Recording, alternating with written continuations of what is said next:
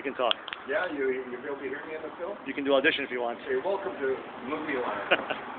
Sort of it. Go ahead. Okay, take three. Welcome to Movie Line. This is where fantasies can become a reality, especially the price of the fucking movies that you're going to buy or rent. Either way, you're screwed or fucked. You have to have them back here within 24 hours. And he's got a couple of broads up in the house waiting there, and they've taken the movies with them, and they come back with all chicken leg wings, gravy, and everything pissed all over them. You better fucking watch it, because they're going to charge you. Too bad you can't have to rewind the fucking CD or a DVD. Cut!